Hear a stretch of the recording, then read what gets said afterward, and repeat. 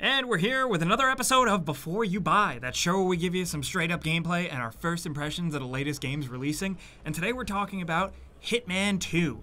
Uh, we got our hands on a review copy early from Warner Brothers, so we've had a lot of time with this one. And straight up, it's more Hitman, but it's really good. Full disclosure, here in the office, we're really, really big fans of the new gen style of Hitman gameplay and stuff, and this new trend of Hitman game is different, but also very good. It's wide open, it's vast, and it works hard to give you a lot to do. Hitman 2 feels really familiar, but it has one big change that shakes things up. The game is no longer episodic. 2016's Hitman game caused a bit of a stir by releasing episodically as a season 1 type of thing. New levels trickled out and allowed you to have plenty of time to like experiment and play with different modes to really get into the ins and outs of every intricately crafted level. Hitman 2 keeps that style of play but gives it to you all at once. I think overall that's a win for consumers, but I was still really worried about whether or not it would change up the flow or the feel or the dynamic of it all. After all, the episodic thing eventually won me over who was extremely skeptical of it, and my first thought was that now that Hitman 2 has all that corporate cash being published by Warner Brothers, uh, they were gonna go back on their ideas, however good or bad they may have been. Still, Hitman 2 feels completely cohesive. It feels like, like I said, more Hitman, but the package collected together here just makes it feel like it makes sense. I think with all this, I'm just speaking to fans of the previous game, so now let me speak a little more broadly. Hitman 2 is a stealth puzzle game. It toes a weird line between being a thinking man stealth game while also having some goofy artificial intelligence.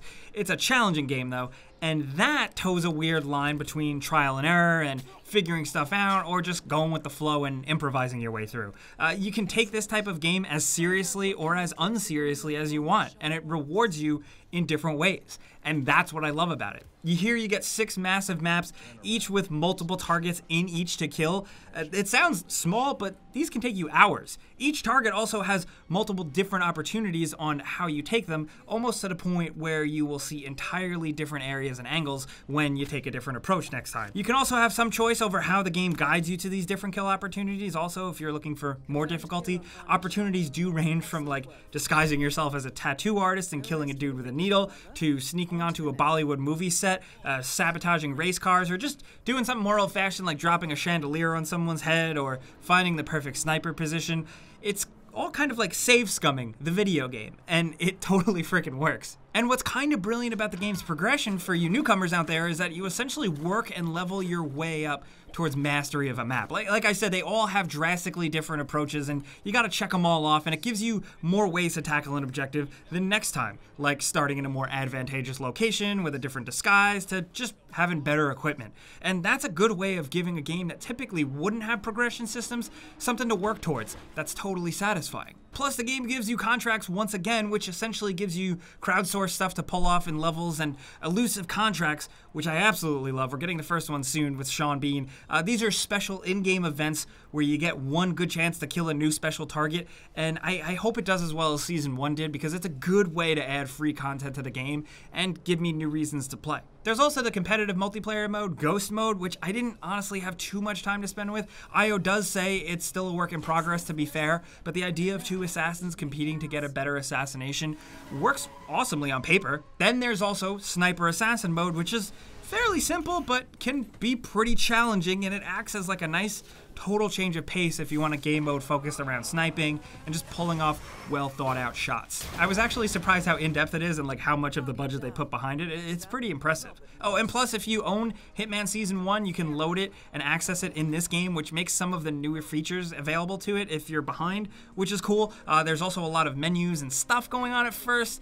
It seems like a bit much, but once you're into the game, you get a fun one that embraces the absurdity of it all, even more than season one did. It feels something in line with like Hitman Blood Money and how it embraces the wacky, which I really freaking appreciate. I have two bits of criticism for the game. Number one, it's a bit glitchy and buggier than I expected. I got stuck in the environment twice, and a few times random objects were floating around and doing weird things.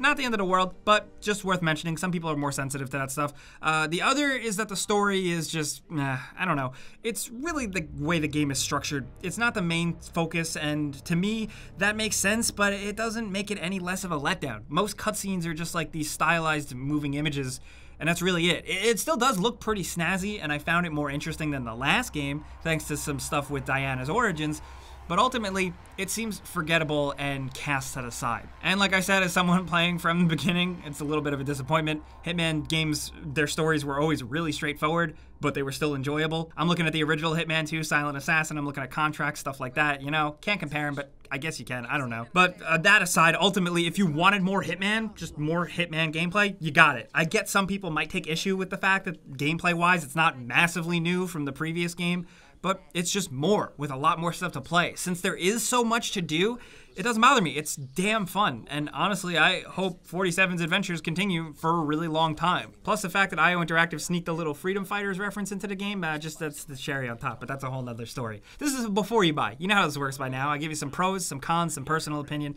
Now I want to hear yours down in the comments. Let me know what you think of this game. Uh, let me know what you think of the fact that now it's not episodic. I'm sure most people are relieved. Uh, what's your favorite map? If you did get your hands on it early, or if you're playing it soon, what are you looking forward to? Anything at all, hit us up down in the comments. And of course, if you enjoyed this video and learned something, clicking the like button helps us out a ton. We appreciate it. And if you're new, you should consider subscribing and hitting that notification bell because we put out stuff every single day. But as always, thanks for watching, and we'll see you guys next time.